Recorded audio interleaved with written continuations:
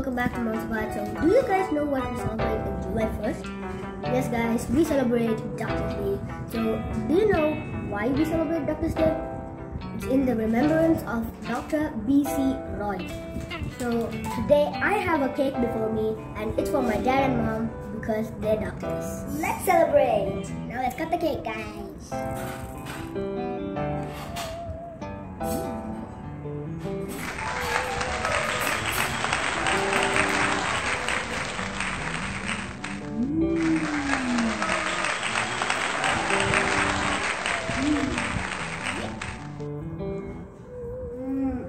Had a tasty cake. So I take this opportunity to thank all the doctors who saved lives in this pandemic. I salute all the doctors.